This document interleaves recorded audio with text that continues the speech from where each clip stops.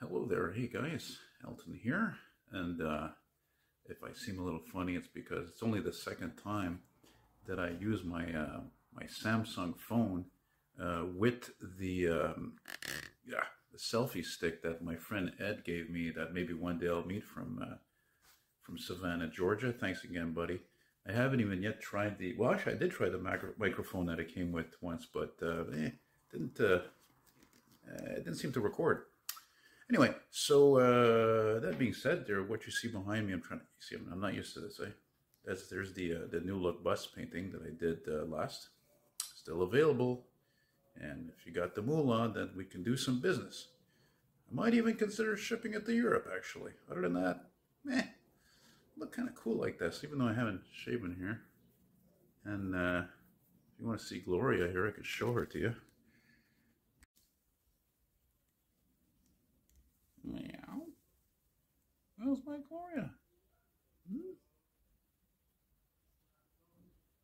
Meow. Like that phone.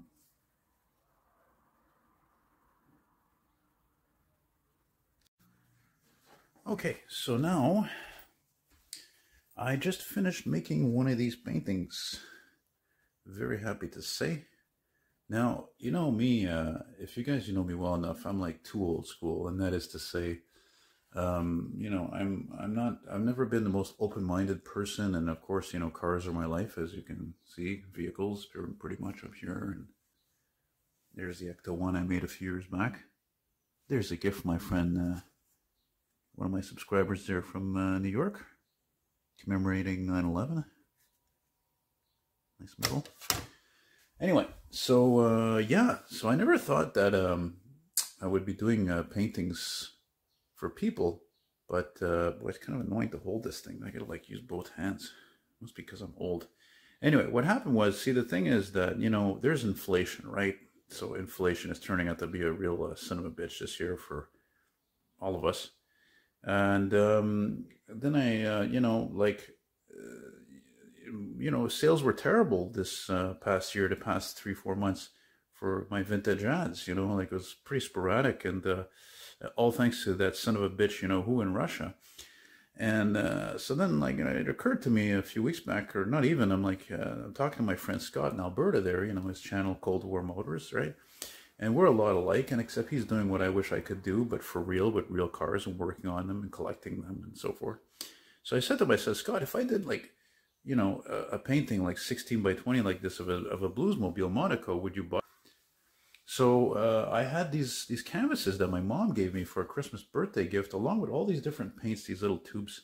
So I thought, why not? You know, I should put them to good use, and you know, make some some little paintings, uh, specifically maybe to sell more to people. You know, and um, so here we have the end result. This one I did uh, a couple of weeks ago, the '74 uh, famous '74 uh, Monaco Bluesmobile. So that's sold. So uh, Scott is that's uh, going to go on his wall with the 61 Monarch I sold him a few years ago. Took about uh, seven, eight hours to do. Also, I'm proud of the fact that also I put in a couple of guys in there. You know, a couple of guys, you know, the guys, right? John Belushi and Dan Aykroyd driving. And that picture, by the way, I used for this was a, a scene in the movie where they're driving like through some festival, like a blues festival with all the crowd and everything. And you see the front of the Monaco, but it's all freaking dirty and it's in the daytime. So I said, oh, I'll flip it around. I thought about putting the dirt. I'm like, ah, it's just going to be more work. It looks cool the way it is. Leave it, leave it the way it is. Because when it comes to painting, like a lot of things, you know, you got to know sometimes when to quit. I.e. this one, which I just finished. And you have to excuse me, I'm bloody tired, man. I'm busy doing this stuff. I'm going to make videos. And as you can see, it's not exactly a beautiful day today. And did I water those plants recently? Uh, that was a gift from Ben. It's a code wire. You can't smell how wonderful this is inside. It's a mix of oil and wood. This is like probably made in the 40s. Yeah, this is on the top of the uh, telephone poles for uh, back in the day with Morse code.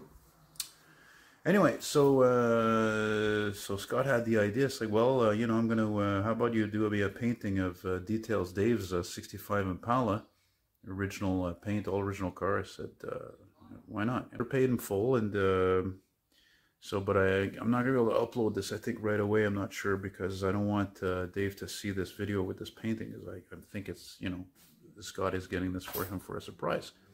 So it's not just to let you know what I'm doing, but obviously to see if I can get any of you guys out there uh, to uh, get something unique, one of a kind there. Just to go in a little bit closer. This is all acrylic, by the way.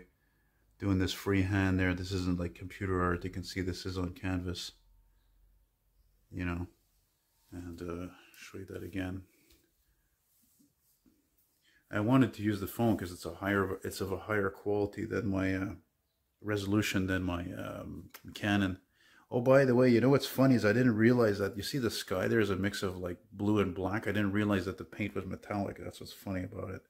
Even actually here where there's the black shadowing the tires, some of that is like a black metallic. Anyway, very happy with these. Very happy the way they came out. And uh, again, if you're interested in me doing a, a painting of your uh, your car, your truck, your bus, your motorcycle, you know, whatever it may be, it's doable. takes maybe a few days a week. This one actually took longer. This one took me a week. It took longer than this guy. And um, yeah, what else can I tell? I think that's about it.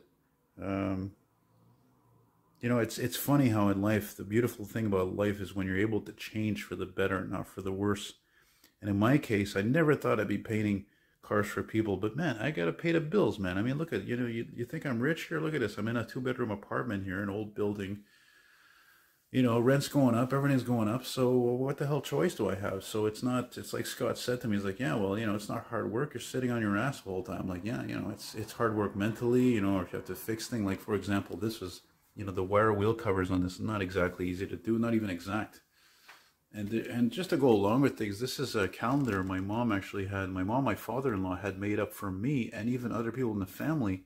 And there are all these, uh, you know, drawings that I had sold to a friend of my mom's, a successful type, uh, somebody who was one of my biggest fans of my artwork. And, and it's just all heavy gauge paper like that. All these drawings I did years ago, you know, between like, I don't know, 99 and 2003, 4, I guess. And uh, yeah. But painting is you can do more realism with paint that's the thing it's like i don't know it's almost as if it's true i thought my mom i've heard a couple people say something like you know people take paintings more seriously than drawings they see more value in it you know?